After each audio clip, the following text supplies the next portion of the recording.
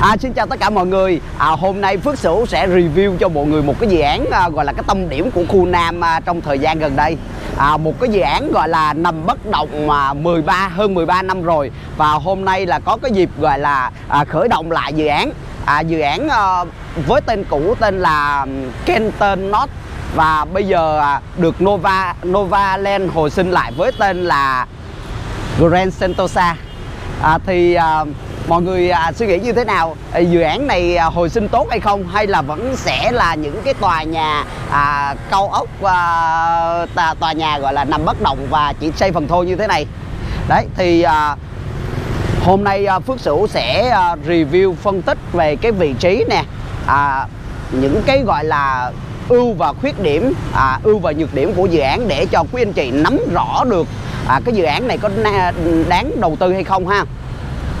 Thì bây giờ Sủ uh, à, sẽ nói về cái quy mô. À, Nói đến uh, Grand Sentosa thì uh, tổng uh, diện tích uh, là khoảng là 10,7 hecta Và tổng số lượng sản phẩm là khoảng uh, 3.625 căn. Mật độ xây dựng là mật độ xây dựng uh, là 23% Và loại hình là bao gồm là office shop house, condotel, căn hộ cao cấp Và được uh, công ty xây dựng uh, sản xuất tài nguyên và đơn vị phát triển là Novaland à, và đặc biệt ở đây là sau này thì sẽ được là cấp sổ hồng sở hữu lâu dài.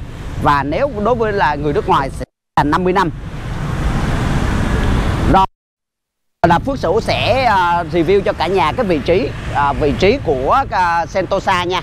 Uh, uh, ngay cái chỗ giao lộ Phước Sửu đang đứng đó là đường Nguyễn Hữu Thọ và một con đường gọi là bắt ngang từ đường Nguyễn Hữu Thọ sang Lê Văn Lương. Thì Sentosa này có một cái vị trí cực kỳ đắc địa luôn cả nhà. Vị trí của Sen vị trí của Sentosa này á, là hai mặt tiền của hai con đường và ba mặt tiền của ba con đường lớn. Và điều đặc biệt nữa là có một cái bề à, bề mặt giáp sông rất là rộng nên nó là à, rất là dễ di chuyển và gọi là vị trí đắc địa của quận 7 và một cái điều đặc biệt khi mà à, mọi người à, đi từ quận 7 à, sang nhà bè thì dự án này là dự án đầu tiên tại nhà bè. Và có một à, điều à, đang gọi là được rất là nhiều nhà đầu tư à, đang quan tâm và rất là nhiều chuyên gia à, đang à, phân tích đó là nhà bè sẽ thành một cái thành phố Nam Sài Gòn trong lòng thành phố Hồ Chí Minh. Nên đó là Sentosa lại càng nổi bật hơn. À, với cái cái vị trí của cái dự án này á, thì à, đi di chuyển về quận 1 khoảng hết ừ, 10 phút thôi. Di chuyển về trung tâm quận 7 thì tầm khoảng 2 phút. Về Phú Mỹ Hưng. Và như mọi người đang thấy đây là cái cần đây là rất là nhiều cái chung cư à, cao ốc và, và à, văn phòng và chung cư căn hộ. Ở đây á, thì à, mọi người nhìn thấy ở đây là Hoàng Anh Gia Lai 3 thì đã đưa vào à, hoạt động và để ở khoảng 3 đến 4 năm rồi. Và ở đây thì một khu phức hợp của Tân An Huy Trần Thái. Cái khu Tân An Huy Trần Thái này á, thì à, bao gồm rất là nhiều là từ à, nhà phố và căn và ở đây thì cái tòa nhà BVGA Tower của uh, Phú Long và Capitol thì uh, dọc theo cái trục đường Nguyễn Hữu Thọ này rất là nhiều chung cư à, cao cấp.